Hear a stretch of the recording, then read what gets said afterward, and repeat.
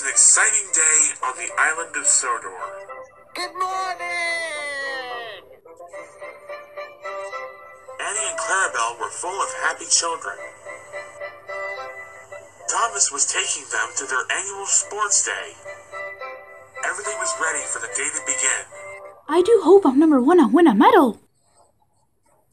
It must be splendid to win a medal. After all, I am engine number one. Thomas worked hard all afternoon.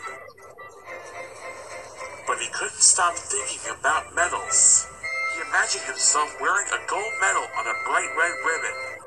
How smart he would look. Hey Thomas, I'm taking the Topham Hatt to the sports day. You can see the egg and spoon race.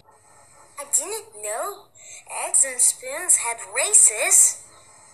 A children race with eggs on spoons. And the winner gets a medal. I wish I could have a medal. Well, you have to win that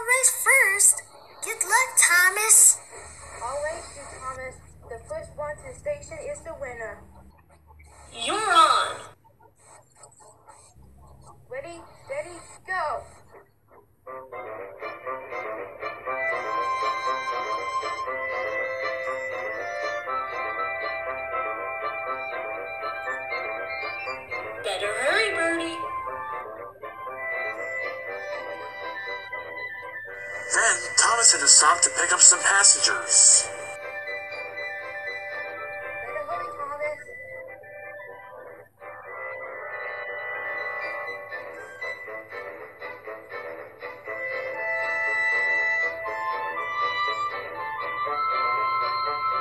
Then Bertie had to stop at a level crossing, Last one there. Thomas. Thomas was nearly at the station. As he drew near the playing field, a signalman flagged him down. Now Thomas was really cross. Bertie was sure to win. Then he saw Sir Topham Hatt. Thomas, the sports day medals have been left in my office. You must fetch them at once. We can't let the children down. Of course not, sir.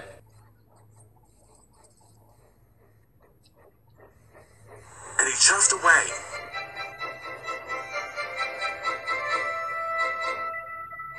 Meanwhile, Bertie had raced into the station,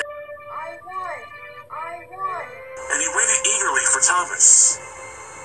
He waited and waited, but Thomas had forgotten about the race. He was thinking about the children. I can't let them down. I can't let them down.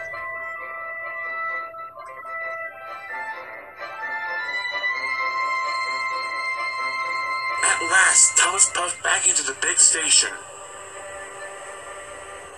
The station master gave Thomas's driver the box of medals. Then Thomas set off again.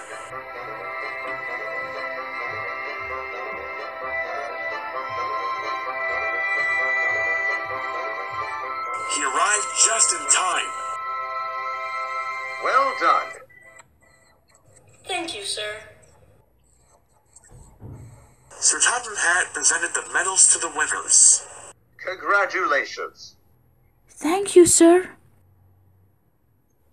The next day, Bertie and the medal winner arrived with a surprise for Thomas. A small boy presented him with a gold medal on a red ribbon. You were very helpful at Sports Day. So we thought you should have a medal of your own. My very own medal. Thank you. Three the number one engine!